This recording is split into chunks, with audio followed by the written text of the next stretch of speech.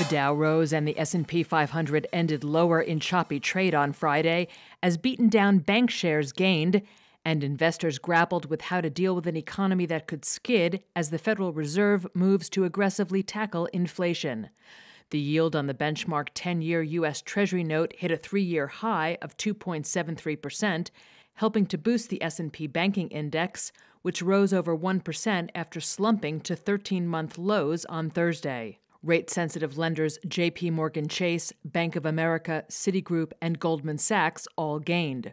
Overall, the Dow rose 0.4%, the S&P 500 shed 0.3%, and the Nasdaq dropped 1.3%. Loreen Gilbert is founder and CEO of WealthWise Financial Services.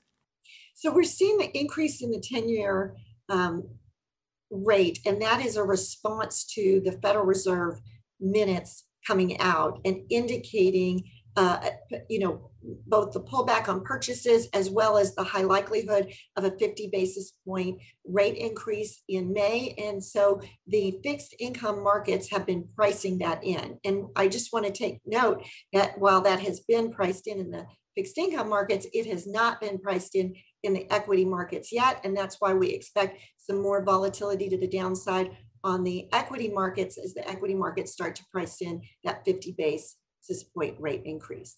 Shares of Tesla, Nvidia, and Google parent company Alphabet fell between 1.9% and 4.5% as megacap stocks extended this week's decline as the surge in treasury yields weighed.